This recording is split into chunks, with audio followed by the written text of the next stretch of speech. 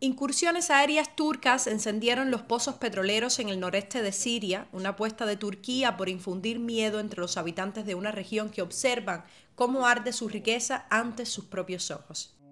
Su intención es desplazar completamente a los habitantes de la región, pero nosotros de manera determinante no abandonaremos nuestra región ni abandonaremos nuestra tierra.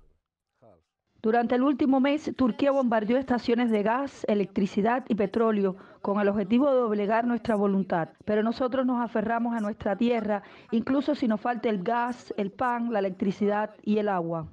Los ataques se distribuyeron entre las instalaciones petroleras y eléctricas en Al-Darbasiyah y Al-Kimishli hasta alcanzar los campos petrolíferos de Ramailan y Al-Suwaida. Esta ha sido la mayor campaña de bombardeos turcos, la cual se ha prolongado durante más de un mes y su fuego sigue arrasando la zona y acaba con cualquier posibilidad que permita volver a reactivar las arterias vitales de la región.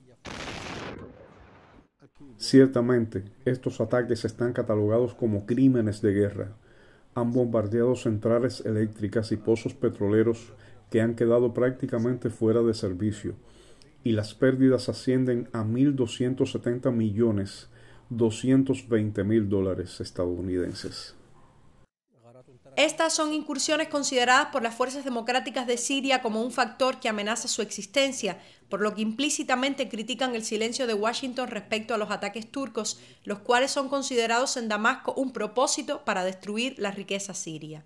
Ante el énfasis sobre el retorno de las fuerzas sirias y su control sobre toda la región de Al Jazeera y su uso de los recursos naturales ahí existentes, Turquía intenta con sus acciones privar a Siria del beneficio de estos recursos durante el próximo periodo.